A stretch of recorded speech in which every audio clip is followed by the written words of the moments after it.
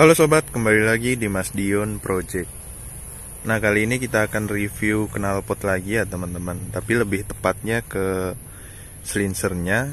Nah ini slincer dari R9 Valencia modelnya ya. Nah tapi ini uh, KW atau super kopi lah, sama kayak Akrapovic yang pernah saya review. Jadi bukan ori tapi yang jelas knalpot knalpot yang saya review itu berbobot ya teman-teman. Jadi memang saya pilih ya bisa dibilang nggak standar juga sih ya teman-teman. Karena emang keperluannya juga untuk motor yang bobotnya berat gitu bukan buat bukan buat sekedar racing-racingan doang. Maksudnya dari segi penampilan oke okay, saya ngincernya. Terus dari suara juga nggak berisik tapi tetap gahar lah berwibawa gitu. Nah kurang lebih knalpotnya penampakannya seperti ini ya. Jadi ini saya masih pakai headernya Blue Moon BNP New Mega Pro atau Verza. Inletnya masih sama ya 50 nah terus pemasangannya ini agak sedikit beda ya dari Akrapovic yang kemarin karena Akrapovic yang kemarin itu dia slincernya lebih panjang ya jadi lebih ke belakang. Nah bagian klemnya itu di bagian sininya dia. Karena slincernya ukurannya lebih panjang. Jadi bisa dibilang R9 ini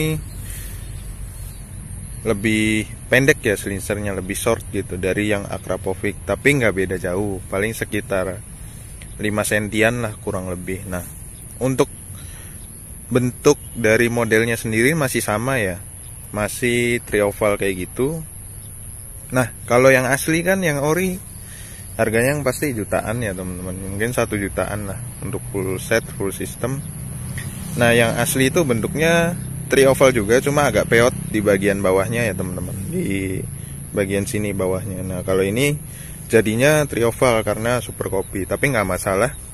Kalau kalian pegang juga uh, feelnya nggak murahan kok tetap berbobot gitu. Nah ini coba aja. Tuh jadi padat ya teman-teman. Nggak yang kaleng-kaleng.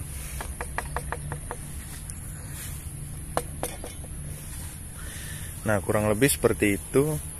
Ya penampakannya ya kayak gini aja sih. Kita lihat dari samping seperti ini. Nah terus ini dari belakang ya teman-teman. Jadi dia memang bentuknya short terus agak keluar sedikit ya. Tapi nggak masalah karena dia short jadi nggak nggak kelihatan ngambang banget gitu knalpotnya tuh. Masih nggak jauh-jauh dari arm kok. Nah terus ini kita lihat dari atas ya.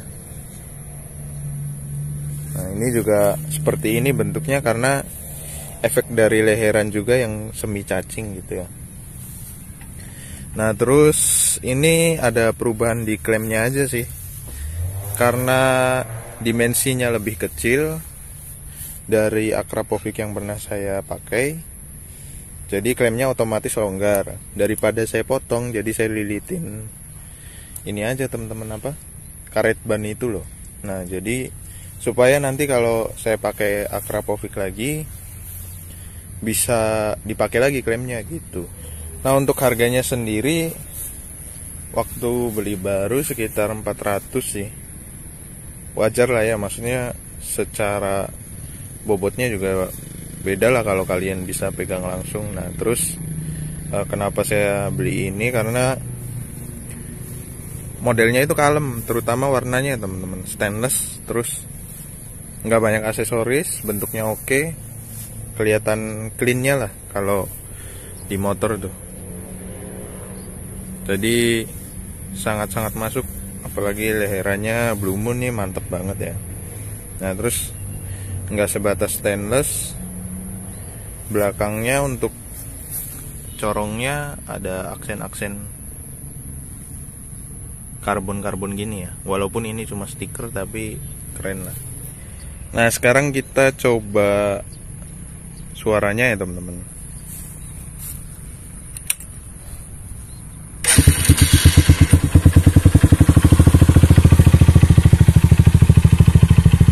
kurang lebih untuk langsamnya seperti itu ya teman-teman. Karena tipikal Honda kan ngebas ya maksudnya dari mesinnya juga nggak terlalu gahar suaranya. Nah kalau buat saya segini nggak terlalu berisik sih. Nah kalau masalah digeber pasti lebih bulat lebih padat Akrapovic karena dia silinsernya ukurannya dan dimensinya lebih besar jadi lebih mantap suaranya lebih padat. Nah kalau Trioval R9 Valencia ini lebih garang ya suaranya kalau ditarik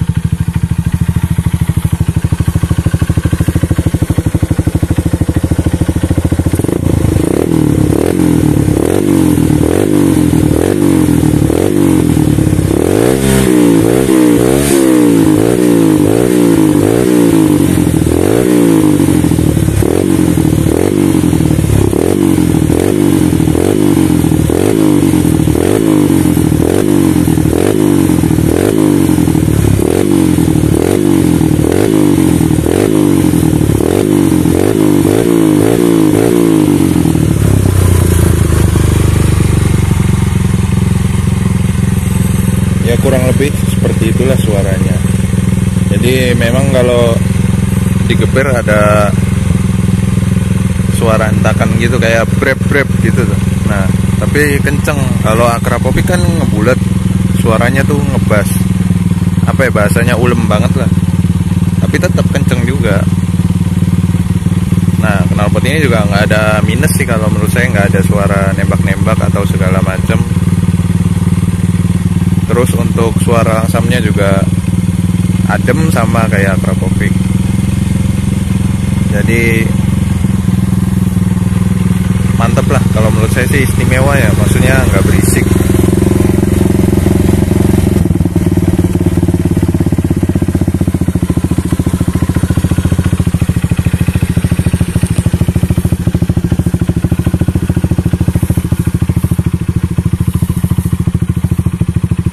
Nah suara langsam udah stabil ya kurang lebih kayak gitu. Nah karena dia bentuknya sedikit short gitu ya jadi dipasang tuh keren teman-teman khususnya di motor saya karena modifannya udah modelnya seperti ini. Nah saya bilang keren karena apa? Karena nah ini lihat. Jadi kaki-kaki sudah saya upgrade knalpotnya juga termasuknya PNP nya tuh ngepres banget teman-teman padet gitu loh. Jadi nggak terlalu ke belakang nggak terlalu nungging juga posisinya ngikutin step ya arahnya ya. Jadi dari leheran ke belakang tuh kesannya padat terus armnya masih bisa ke expose teman-teman. Jadi kalau Akrapovic mungkin sedikit panjang ya jadi armnya juga sedikit ketutupan juga. Nah kalau ini ke expose ya teman-teman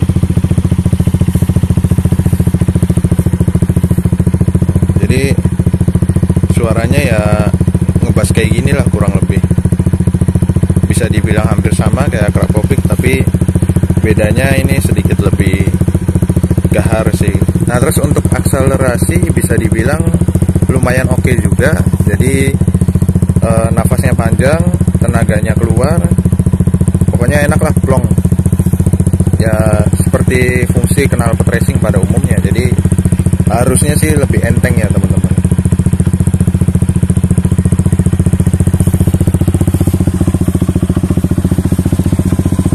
kita coba lagi ya.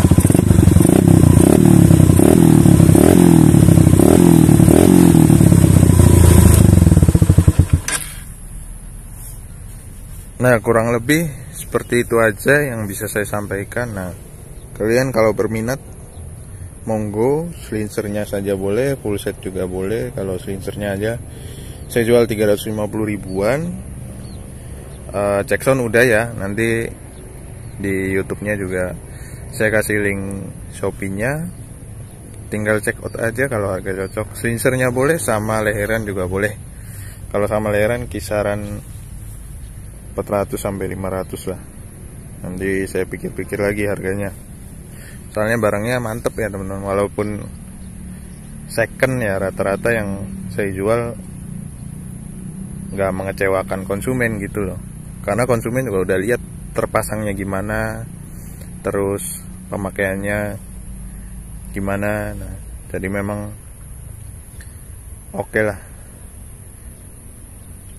Baik segitu dulu yang bisa saya sampaikan. Sampai jumpa di video selanjutnya